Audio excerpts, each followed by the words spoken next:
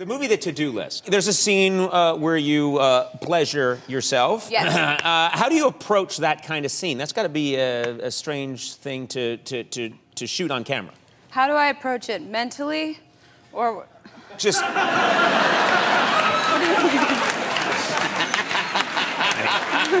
Did you work with an elite corps of masturbators? Yeah. Before training? SEAL Team Six of masturbators. I'm just curious. That's uh, that's uh, an intense uh, Okay. act to simulate uh, on film. fa- uh, fair question. Well, I read it on the page, and it said Brandy masturbates, and in my head I envisioned uh, a nice scene where you just see my hand slowly go out of frame. Right. The frame stops. The frame stops And then the hand. here, yeah. And then that's the left. Is, the left is left to the imagination. That's yeah. right. That's what I thought. That's what I thought I was going into. But then when I showed up, the camera was mounted on the ceiling. I was in my underwear and a Clinton T-shirt, and there were a bunch of old men smoking. I know. You know, the crew guys. Crew You guys fund smoking. the movie somehow. Yeah.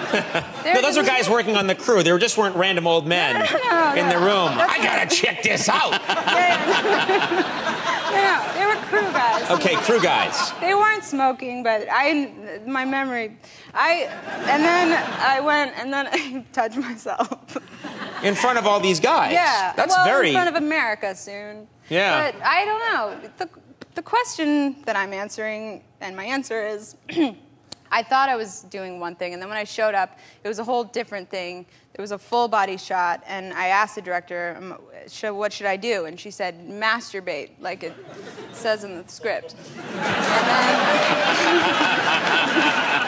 and then uh, what a what a And I did kind directorial note. well, yeah. And then Do it like it says in the script. Yeah. You know the title of this movie. Now get to work.